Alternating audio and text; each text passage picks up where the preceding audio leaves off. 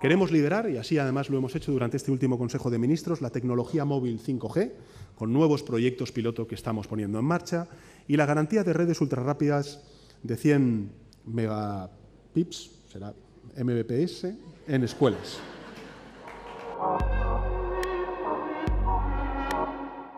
Pues ahora voy a Huesca, luego estaré en Aragón.